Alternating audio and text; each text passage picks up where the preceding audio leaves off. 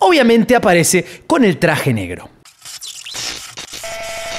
¡Aló! ¿Qué pasó, frikis del carajo? Soy Juanito, soy esto es del carajo TV, claro que sí. Y me tuve que poner a grabar porque tenemos que hacer Freaky News el día de hoy. ¿Qué está pasando? De todo está pasando, de todo. La Comic Con at Home, tenemos también la Justice Con, tenemos de todo pero tenemos horribles noticias para empezar porque este hombre que está ahí, que quizás si no sos de los Estados Unidos no lo conozcas, pero acaba de fallecer el famoso conductor, entre otras cosas, Regis Philbin en los Estados Unidos, así que una pena, descansa en paz. En algunas datas rapiditas tenemos buenas noticias para la nueva película de Misión Imposible porque se acaba de confirmar que van a poder continuar trabajando en Noruega porque específicamente para el cast y crew acaban de levantar el baneo por lo que van a poder volar hasta ahí.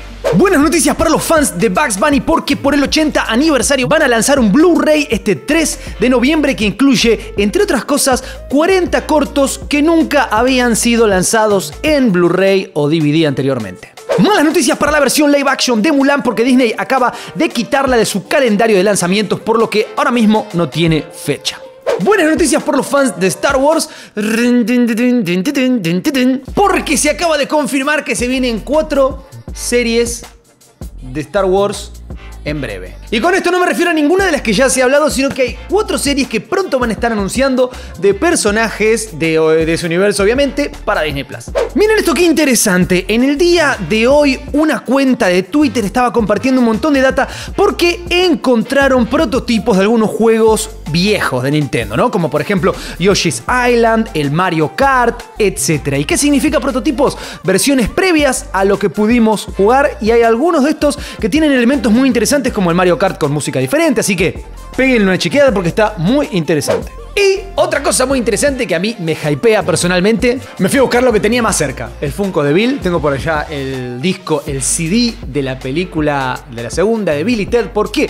Ayer hubo tráiler nuevo de Bill and Ted Face the Music, o sea, Bill y Ted 3. Un tráiler por fin con lo que queríamos ver sobre esta película. Ahora sí, el otro mostraba muy poquito, pero este me puso medio hype y ya nostalgia, pero mucho mejor. En el día de hoy, en la Comic Con at Home, estuvo este señor Alex Winter. Bueno, estuvieron todos los de la película, básicamente, haciendo un panel con Kevin Smith. Pero lo más interesante, el señor Kevin Smith dijo que ya vio la película y ¿qué dijo al respecto? Que era espectacular que lloró, que se emocionó y que obviamente le dio un nivel de nostalgia espectacular. Así que el hype por esta película yo lo tengo por las nubes, pero lo mejor que sale on demand, además de en cines, el 1 de septiembre, así que la vas a poder ver en tu casa en vez de tener que salir a pegarte el virus a un cine.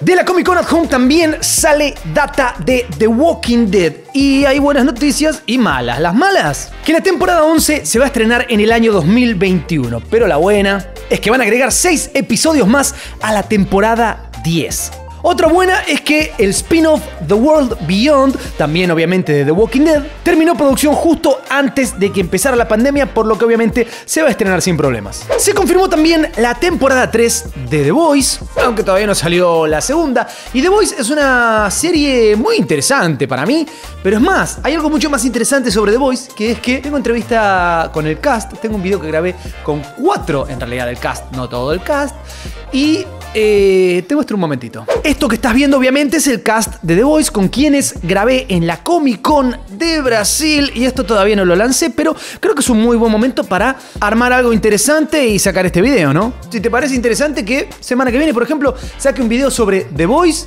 coméntame ahí abajo. Perdón, sobre The Voice con The Voice. En Data de DC arrancamos con una mala porque al parecer hay nuevo escándalo con Ezra Miller.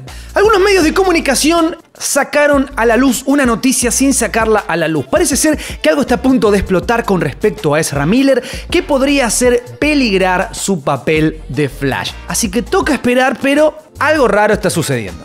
Por otro lado, se confirmó que Michael Keaton va a estar en la película de Flash. O sea, ¿estaba eh, confirmado? Sí, era como una especie de eh, rumor, vamos a decir, pero se confirmó que vamos a tener al señor Michael Keaton en la película de Flash. ¿Y cómo se confirmó? Porque le preguntaron a Jeffrey Dean Morgan si iba a aparecer en la película de Flash. ¿Y qué dijo el tipo? Dijo, y me parece que vino Michael Keaton y me sacó el papel. Como que de alguna manera el tipo confirmó que va a estar Michael Keaton. Lo interesante es que en realidad no significa que no pueda estar en la película, porque si vamos a ver un Flash viajando de aquí para allá, eh, puede haber diferentes versiones de todo, eso está claro. Pero lo más interesante que dijo es que él cree que después de que Zack Snyder voló de este universo, él ya no forma parte de nada porque su participación en este universo era un poco el plan que tenía Zack Snyder y nadie más que él.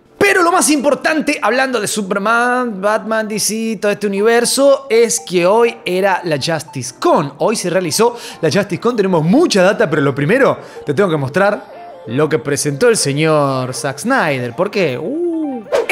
La Justice Con pudimos ver por fin al Superman negro, con el traje negro. Esto se vio porque se presentó una escenita de la película muy cortita donde vemos a Superman llegando a donde se encuentra Alfred y obviamente aparece con el traje negro. Esto generó un hype espectacular en las redes, pero lo más interesante es que el señor Zack Snyder dijo cómo rodó la película. El hombre ya quería desde antes el traje negro. Warner no lo quería. Entonces el tipo dijo, ok, voy a rodar la película de tal manera que pueda modificar el traje fácilmente en postproducción. Así que la película se hizo sin saber exactamente de qué color íbamos a tener el traje. Pero mucho más interesante es que Justice League, la versión de Zack Snyder, va a terminar con un final abierto, con un cliffhanger que le dicen en inglés.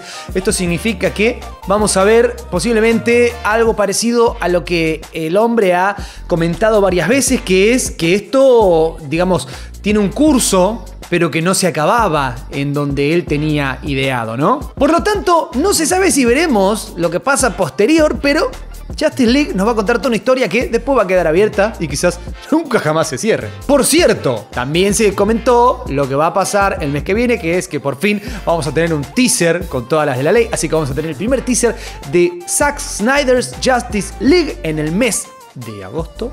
Y por otro lado, el que tiró bombas a full fue el señor Ray Fisher. El tipo no para de hablar de Joss Whedon y dijo que todo lo que él comentó en sus redes y demás sigue sosteniéndolo a rajatabla. Es más, tan grave dice que fue que van a empezar a saltar muchas cosas sobre Joss Whedon en los meses próximos. Y no nos imaginamos ni siquiera la locura que va a empezar a salir a la luz. Aunque mucho mejor fue lo que dijo Zack Snyder cuando le preguntaron por el contenido que grabó Joss Whedon para Justice League y Zack Snyder dijo, ni muerto utilizo alguna escena de Joss Whedon en mi versión de Justice League. Ahora sí, pregunto, ya lo pregunté muchas veces en este canal, pero ¿cómo viene el hype por esta versión de Justice League? Coméntame ahí abajo. Y en los 10 segundos suculentos del día de hoy tenemos a Carlos Mejía que nos dice, hola Juanito, tengo un canal de YouTube de desarrollo personal y emocional y me gustaría que el team del carajo me ayudara a crecer y crear una comunidad. Así que me parece muy interesante lo que dice aquí Carlitos porque si su canal nos va a ayudar, nosotros ayudémoslo a él para que su canal se expanda un poco. Así que vayan a comentarle y por sobre todo, chequeen el canal porque seguramente tiene contenido muy interesante. Lo tienen por ahí arriba y lo tienen también ahí abajo. Muchas gracias, Carlitos. Y también tenemos a Junra que nos dice: Hola Juanito, te envío los ahorros de un año para publicar el canal de mi novia. Es un canal de misterio y casos paranormales. Saludos desde Venezuela. Sé que la, economía está bastante complicada en Venezuela, así que vamos a apoyarlo a full para que pueda tener un poquito ahí de movimiento. La verdad que todas estas cosas que se pueden hacer en internet son clave para países como Venezuela, donde es muy complicado todo lo que tenga que ver con la economía, básicamente, que es parecido a lo que pasa en Argentina. Así que vamos a apoyarlo a full. Les dejo por acá, les dejo también por ahí abajo. Pónganle que son frikis del carajo. Yo voy a hacer obviamente lo mismo. Muchas gracias, Chunra. Y vos si querés ver qué tenés que hacer para salir aquí en los 10 segundos suculentos, tenés un enlace en la descripción que te explica todo. En Data de Marvel tenemos malas noticias porque se acaba de confirmar que la película Spider-Man 3 se retrasa hasta el 17 de diciembre de 2021. Atentos a esto, Spider-Man se va a transformar en una especie de vampiro asesino. Para el número 50 de The Amazing Spider-Man, vamos a tener una versión de Halloween del personaje donde obviamente, como les digo, va a ser una suerte de vampiro que va a luchar contra otros personajes también así bastante terroríficos. ¿Cómo te ves un Spider-Man vampiro? en el cine. Luchando contra Morbius, no estaría mal, ¿eh? Una vez más, se está rumoreando sobre la película de Hulk, hay varios medios que están hablando de esto, y al parecer lo que se dice es que sería una precuela. ¿Qué tan precuela podría ser? Bueno, lo que están diciendo es que nos mostraría cómo el personaje se transformó en el Hulk inteligente que vimos en Endgame. Por otro lado, acabo de salir este producto que estás viendo por ahí y te preguntarás, ¿qué onda? ¿Vamos a tener un Falcon vehículo en la serie de Falcon and the Winter Soldier y yo te aseguro que no vamos a tener eso, pero muchas veces es muy curioso cómo cuando salen algunas cosas de, de, merchandising o juguetes o cosas de esas antes de que salgan películas, series y demás, la gente piensa que vamos a ver eso en las películas como cuando sale la moto de Spider-Man, la capa de Spider-Man y todos dicen vamos a tener a Spider-Man en moto con capa. No, no. Pero interesante de esto es que nos da otro vistazo al traje de Falcon, lo cual es bastante interesante. La que dijo que quiere volver al MCU es la señorita Catherine Langford porque quiere ser otra vez Morgan Stark, o sea, la hija de Tony Stark.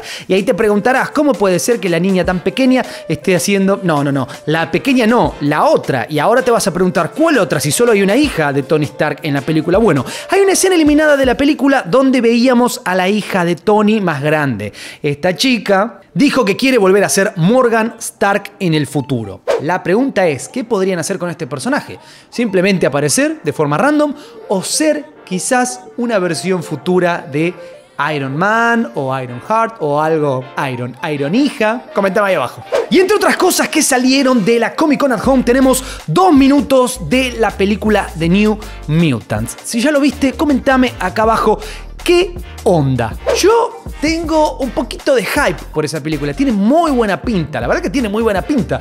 Che, es como raro, ¿no? Tanto tardó, no es conexa con nada, al parecer. Pero la película tiene muy buena pinta. Por lo tanto, puede ser una muy buena película así, suelta. Y nada más. ¿Ustedes qué opinan? Yo opino que no te olvides de darle duro, duro, duro al botón de like, de suscribirte, tocar la campanita, de seguirme en mis redes y por sobre todo de seguir viendo Data Suculenta en este canal llamado Del Carajo TV. Juanito 6 por aquí y me voy a cenar. Nos vemos la próxima.